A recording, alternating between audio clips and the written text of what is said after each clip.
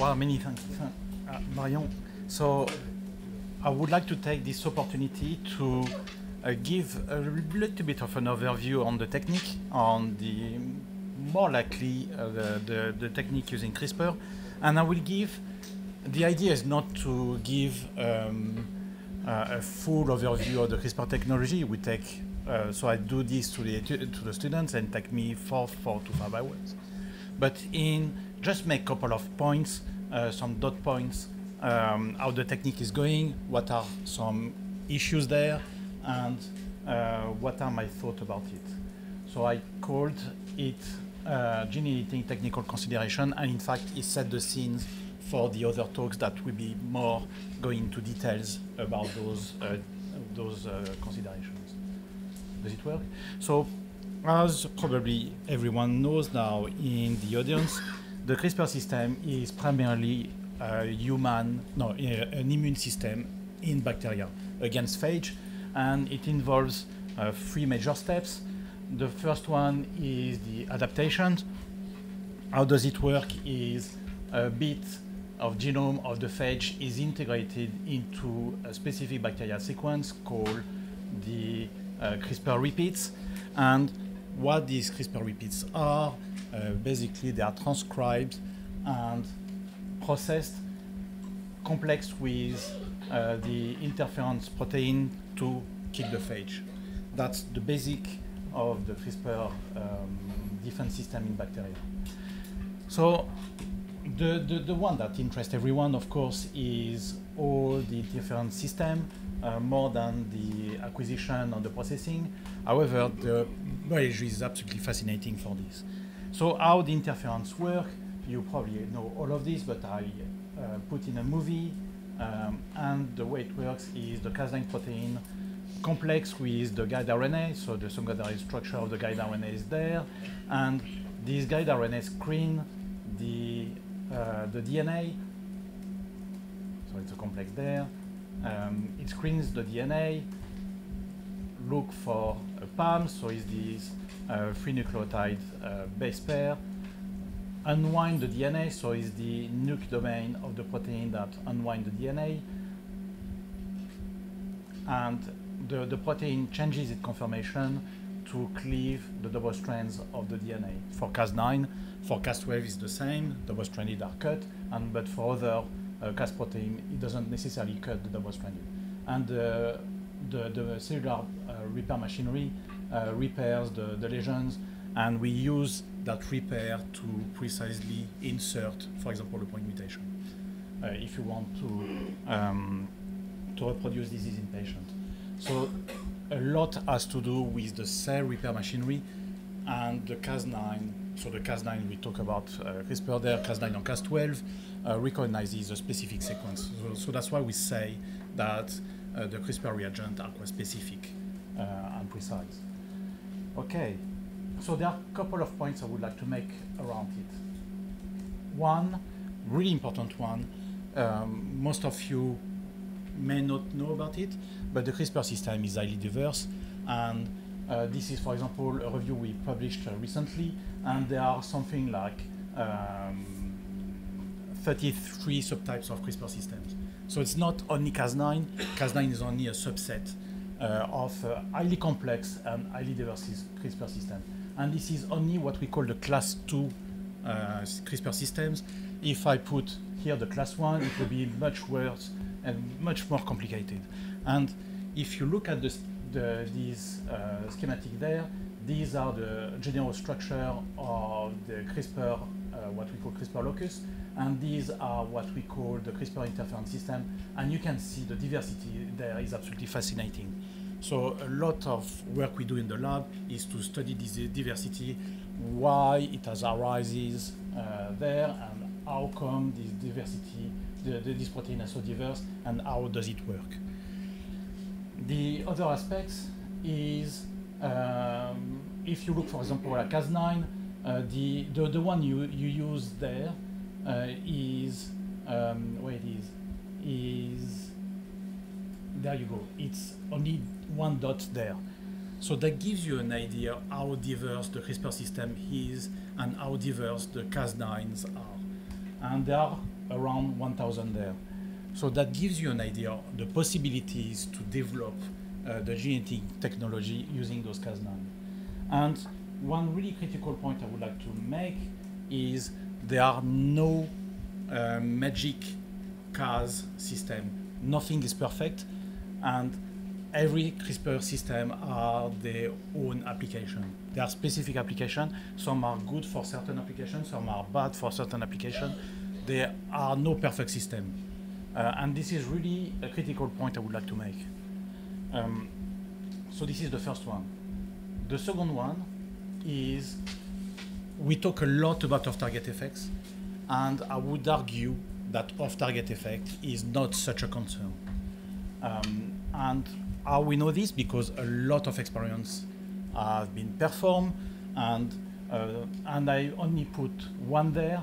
Uh, that is, in my view, the best performed experiment to date to assess off-target effect in mouse, uh, and it was clear that off-target effects are quite marginal. Um, and we talk about off-target effect. There are other um, aspects as well that are important. One, what we've um, studied and we demonstrated is the off-target effect are predictable. What I mean by that, uh, what determines the off-target effect is the sequence at the target site. And if we know what the target sequen the, the sequence of the target site is, we can predict off-target effects. And this has been demonstrated quite a lot with Cas9 systems. And if we can predict it, we can uh, use a large data set and what we call machine learning, uh, artificial intelligence to predict those off-target effects. And if we can predict those, we are more precise in editing. And we can optimize the enzyme to make it more precise. So there are, it's a combination of predicting the off-target effect and optimizing the enzyme to minimize the off-target effects. So at the end of the day, what that means is um, we can minimize the off-target effects to a point that it will, be, it will be acceptable for, for example, gene therapy purposes. So this is my second point. My third point is um, one I'm more concerned about, and this is more specific to human germline editing application, is not the off-target effect, is what we call the mosaicism or what we call the on-target effect. So what are the on-target effects? Is basically all the modification at the target site. One of those is called mosaicism. What that means is some cells have one type of editing where other cells have different type of editing. So I am more concerned about it rather than off-target effects and it happens uh, early de during development. And you can see here uh, the chromatogram from He, so it was Lulu and Nana, and you can see the mess. And for, for example, this is one experiment, and many of us have this type of result. We uh, sequence some uh, mouse embryos, and we could detect, for example, here up to 30 alleles. So I'm more concerned about it rather than uh, the on-target and um, this was uh, demonstrated in other settings, and we actually discussed this quite in details uh, with my colleague at the Sanger. One thing, so this is my third point. The fourth point is something I described often, and uh, you see this with looking at the stock market of the CRISPR companies. And this is called, this is what I call um, a constant cycle of discovery obstacle resolution. So this is typical of the, the, the CRISPR field, and you can measure this by the stock market. Uh, for example, these are the stock market of the uh, CRISPR companies, and you look at the papers saying that CRISPR is bad, and of course the, the, the, the, the stock uh, goes down. And this happens a lot. Uh, for example, that one, uh, a typical one, that was um, quite spectacular one, is the first description of the antibodies response against Cas9 uh, that Matt Porteous uh, described first. Uh, that one was quite spectacular too, is the description of billions of, of target effect and the paper has been retracted uh, following uh, lots of criticism. And you can see the stock just going down uh, right away uh, when these papers um, are coming out. And what happened after? We find a remedy for this, and then the stock goes up. It's a very good measure to, um, in fact, I would describe it as a very good measure of the CRISPR hype. Um, and I give you an example there. Um, we see, uh, for example, this, this, um, this article in Stat, uh, Stat News, uh, stating that uh, CRISPR uh, is linked to cancer. And why is this? Is because double-stranded break uh, following CRISPR um, delivery uh, leads to an activation of a molecule called P53 that is absolutely critical in regulating uh, cell cycle, and this regulation gives rise to cancer. So the problem was, um, the question is, does CRISPR cause cancer?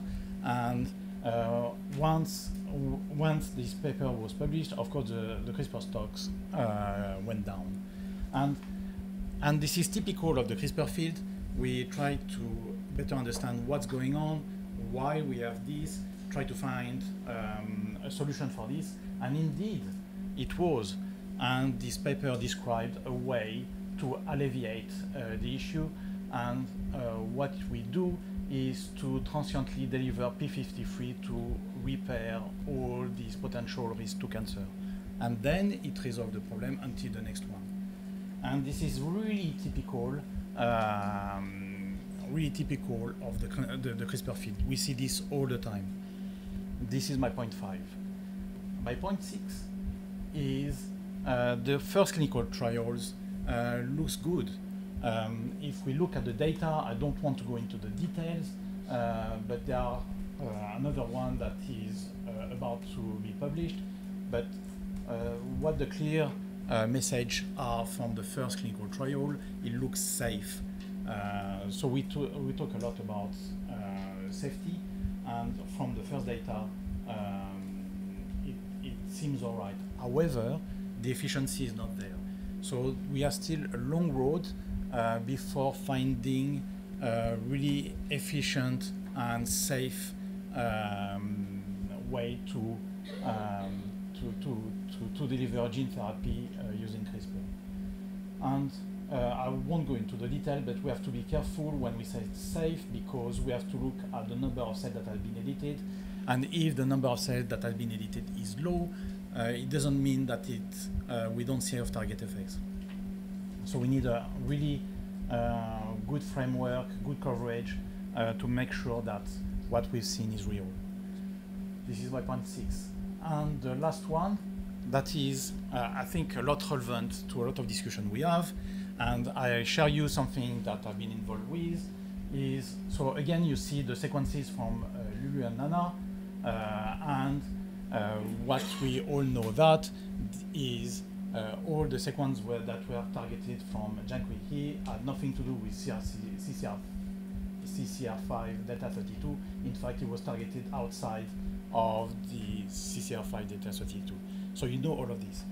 So what is interesting there is I've been involved quite a lot with the Ray story before it broken, broke uh, in Nature, and we have a series of uh, email exchange with him uh, that was quite entertaining.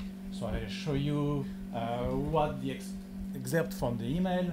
Um, so I uh, argued, so I look at some of these data and argued that uh, the coverage um, to look at the lesions, so at the target site, were insufficient and not with the right type of sequencing. And he agreed with, him, with me. Uh, we couldn't be detected. We use uh, something completely different to uh, verify this. I have no Affymetrix data for free embryos, but it's our plan to do cheap uh, embryos for the other experiment, which I found quite extraordinary. So that means he was edited human embryos without knowing what he was doing. And this is what I call uh, the naivety of the approach. And we like it or not, we are dealing with it. Um, so we have to find a way as a community to find, so to, to, to respond to this, to be ready and to respond to this. This is my, um, my, my seven points.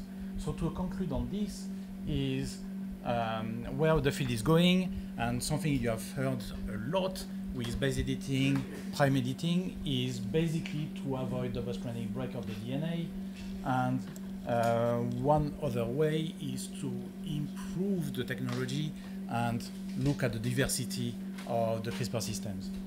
The other point is, uh, as you all know, uh, the CRISPR field is moving really rapidly, um, and this shouldn't be under underestimated. Uh, everything is changing all the time. And the third point is um, we, we discuss a lot. Uh, the CRISPR technology is not ready for to ensure safety. Um, however, um, the, the, the, technology is improving immensely.